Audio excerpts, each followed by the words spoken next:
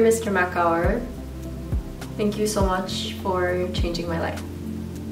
I'm really grateful that you chose to give this scholarship that recognizes not just my financial needs or any merit, but the drive I have to make a positive impact in the world. Having listened to your speech on education when you visited our school, I remember tearing up because it was the first time I witnessed someone who had shared very similar financial struggles um, and later grew into someone who can actually help the same kind of students.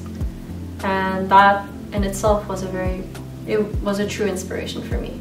So I will not forget your gift. I will always make sure to pass it on and make a positive impact in the world. Thank you so much.